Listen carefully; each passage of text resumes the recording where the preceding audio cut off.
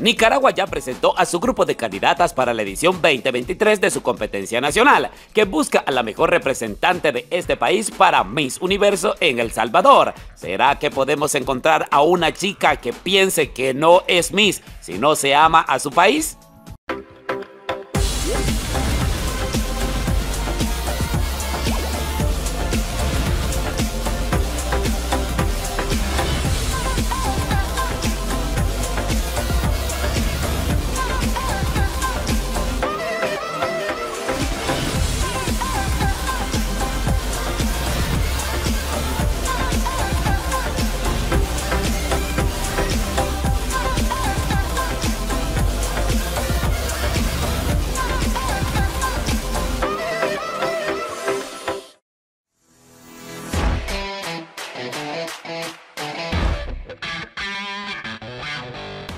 Capital histórica del Perú, les saluda Luciel Fernández, Queen Supreme International 2022, y les invita a que puedan cumplir sus sueños en Queen Supreme International 2023.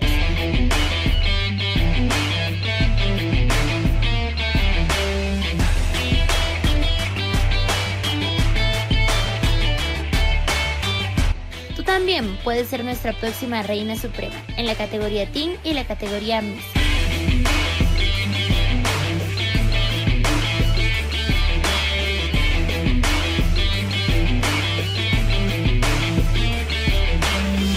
Pague Colombia te espera.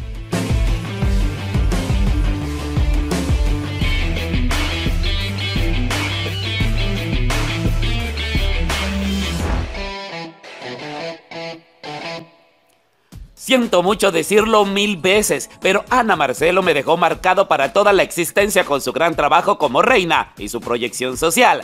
No se es Miss, sino se ama a su país, que me dejó enamoradísimo con ese proyecto. De todo lo que hizo fue lo que más me gustó. Aunque Miss Universo la haya desperdiciado, pero por lo menos fue top. En fin, es momento de hablar de las candidatas oficiales a la edición 2023 del Miss Nicaragua y ya la organización a cargo hizo su presentación oficial. Advertencia, con el siguiente banquetazo de análisis del MISO, no quiero herir susceptibilidades. Con un diseño minimalista empezó el evento. El escenario parecía un velorio con esa forma de colocar las cortinas. Esta organización es muy amante de lo suyo. Sabemos que quizás eso evita el poder ver mucho más un super espectáculo. Pero la verdad, sí careció el inicio de poderse llamar medio wow ni los chicos bailando pudieron llenar el escenario para que fuese un gran espectáculo. Eso es lo que está diciendo todo el mundo y no han entendido que simplemente es una presentación de las candidatas por lo que yo diría que lo veía bien. Luego siguieron las presentaciones y acto seguido se nos vino el desfile individual de las chicas. Isabela Salgado tiene 26 años y tiene un proyecto social con su familia entregando alimentos a los niños necesitados que se encuentran en el basurero de su natal Chinandega. Con él lleva 5 años. A nivel de oratoria ha evolucionado, pero aún le falta más empuje y poder vocal sobre todo ritmo, porque se siente flojona. Lo que sí tiene esta chica, y siempre lo diré, es impacto en el escenario. Estaba divina con ese vestido dorado nude. Excelente su look, maquillaje y buen desempeño en la pasarela. Siempre me ha encantado, pero siempre le falta un tris para ganarse la corona. Melissa Morales tiene 25 años y tiene como proyecto social Nanay Nanay. Solo es ambientalista y hace reciclaje. Allí empezó mal la cosa. A nivel de oratoria, tiene fluidez pero no logra animar mis oídos porque le hace falta como sazón. La sentí demasiado tranquila y debe echarle más picante si quiere gustar más al hablar. Si supieran que a pesar de todo, tiene su swing en la pasarela, pero sí la siento primípara. Como que le hace falta unas buenas clases intensivas de todo, incluyendo manejo de rostro y no sé, pero ese look es next. No me llamó la atención y creo que con extensiones se vería mucho mejor.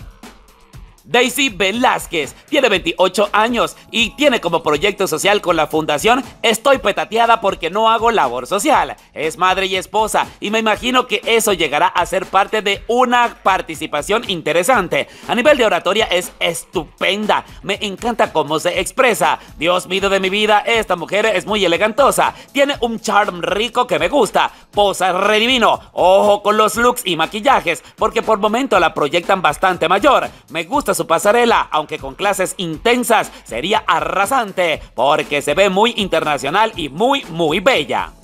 Marian Torres tiene 27 años y tiene un proyecto social llamado Al Miso le va a cantar esperando uno, pero por lo menos se da el postín de ser la gerente general de una clínica odontológica de prestigio donde ayudan con precios accesibles a la gente. Amiga, tantos maquilladores que hay y usted se dejó agarrar la cara de la tía Gertrudis, muy mal asesorada porque el look le quitó mucha belleza. No tiene nivel de Miss aún, su pasarela es normal y el manejo de su rostro es terrible. Se percibió nerviosa y la proyección de escenario está llamando a gritos un buen preparador. Andrea Reyes tiene 25 años y tiene como proyecto social ayudar a los demás viendo el lado positivo de las cosas y sacándoles sonrisas. Chicos, seamos claros, esta candidata tenía al frente un papel con todo lo que tenía que decir impreso, porque a leguas se escuchaba poco natural. Así que mi reina a trabajar oratoria, que está muy necesitada. En la pasarela es un no rotundo, en ninguna de las formas, cero en la manera de caminar. La peinó y maquilló el equipo de la tía Gertrudis y aunque el vestido es más moderno, igual las influencias de la tía están presentes. Ahora no la veo tan fuerte, esperemos.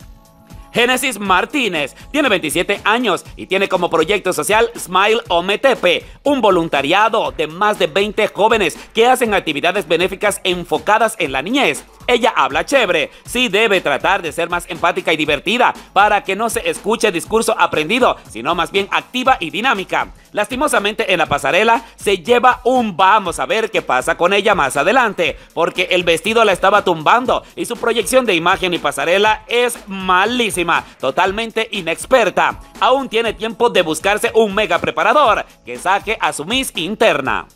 Chantal Urbina tiene 24 años y tiene un proyecto social llamado Soy casada y tengo mi propia clínica dental. Espero que aproveche y por lo menos con su clínica pueda dar 30 asistencias gratuitas al mes para su gente, porque así por lo menos podemos saber que está haciendo algo por su sociedad. Habla muy bien, me gustó que siempre está sonriente y dando empatía, aunque sí le falta un poco más de ritmo. En pasarela asustadísima, nerviosísima, sin mucho impacto en el escenario. No sé qué tenía porque es muy linda, pero se percibía como si fuese la primera vez montándose en un espectáculo. Pero le tendré el ojito puesto. Iris Ruiz tiene 27 años y tiene como proyecto social llevar desde sus 15 añitos en fin de año juguetes a los niños del basurero de su localidad. Espero que intensifique estas ayudas y que ahora mi reina no solamente sea a fin de año sino todos los meses que pueda. Su léxico es muy reducido y su fluidez comunicacional también. Se sentía súper nerviosa y debe desarrollar más esta etapa. Cuando salió al escenario me agradó bastante. Se le ve la poca preparación, pero hay cierto contoneo y algo que me dice que puede aprender y explotarse más. Su arreglo personal estuvo ahí. Shanice Palacios tiene 23 años y tiene como proyecto social uno sobre la salud mental que se llama Entiende tu mente para enseñar a sobrellevar la ansiedad y cuidar nuestra salud mental. Obvio tiene una oratoria formidable con un léxico enriquecido y gran empatía. Escénicamente me hizo mucho ruido su estilismo, con tan poca edad se ve como la tía de las otras chicas. No sé quién le dijo que se veía mejor con un look anticuado. ¿Será que la tía Gertrudis la está asesorando? Por lo menos el maquillador sí la ama y estaba divina de rostro. Esperaba una mejor pasarela y más impactante, pero ahí está. Guaymara Antonio tiene 26 años y tiene un proyecto social, amar a los niños y pasar tiempo con sus sobrinos, quienes la consideran un ejemplo a seguir. La chica habla simpaticón, tiene cómo desarrollar un mejor nivel comunicacional y quiero pensar que estaba nerviosa porque no es fácil, pero aún puede dar mucho más. En la pasarela me dejó muy atraído su nivel escénico, su pasarela es buena y aunque aún no sabe cómo proyectarse fuerte y contundente, las bases las tiene y se puede sacar una máxima reina si se lo propone. No sé si sea su color de cabello natural, pero como escandiló mis pupilas. No me va con su tono de piel, debería aligerarlo.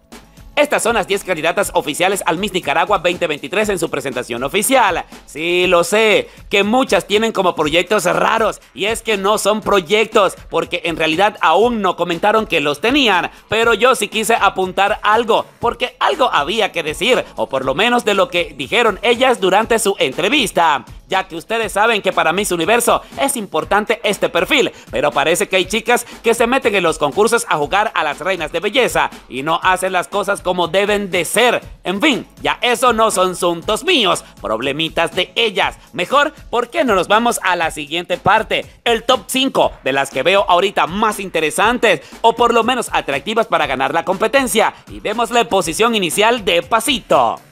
Cuarta finalista, Guaymara Antonio. Me da buena vibra la chica, pero que se prepare mucho más.